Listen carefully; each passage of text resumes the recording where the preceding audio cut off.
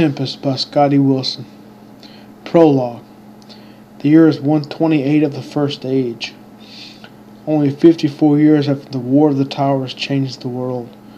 A young wizard of the White Tower in Escadia, the last bastion of the new priesthood of the god of life, Eon, not that enslavers, demon worshippers, don't have agents running around all over the world, and home to the future champion of the new world to come.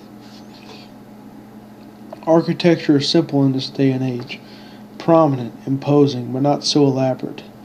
Even White Tower is of a simple design, though it extends almost to the clouds. The dark city of Murik has a more elaborate style building, though it's somewhat creepy to look at. Ebony Tower is much less tall than its rival in Escadia, but is much wider and can accommodate just as much inside of its walls, if not more. The world is somewhat oppressed territorially by its priesthoods. Wizards are becoming more trusted and are more involved with the people and politics. The settlements and kingdoms outside the Big Three are being ruled by corrupt kings, legions of mercenary armies loyal only to themselves. In a lab close to the top of White Tower, just below the lore room, Archmage Lancaster and his star pupil Ethan are speaking. The window is lit from a beautiful midday. Do you know the history behind the great power we, we protect here in White Tower, Ethan? says the Archmage in a calm voice. Ethan's eyes deviate. The Archmage speaks.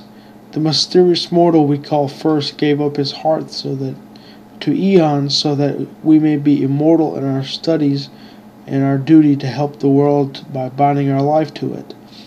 Some say it is directly linked to eon somehow, yet even we do not know how this came to be. Don't the priests know Archmage? says Ethan with a smirk. No, of course not. Only the Grand Council of Mages are allowed in the room with the artifact. So studying it, studying it is our job alone, Ethan. Do you understand? Ethan looked down a bit and said, Yes, Archmage, I understand. Ethan then made his way toward the lore room above, the highest the student can ever go in the tower. There he studied all the tower's records on the heart of eternity.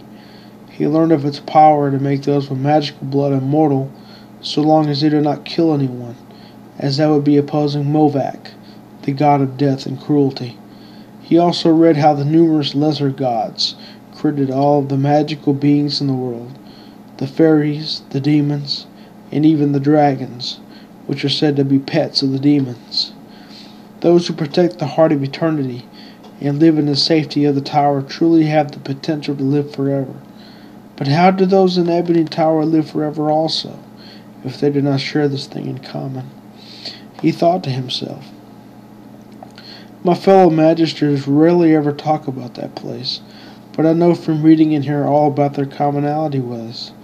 A long and busy day befell White Tower as studies endured, and the things finally wound down at night. And all the mages were either retiring to their chambers, doing their experiments, or both.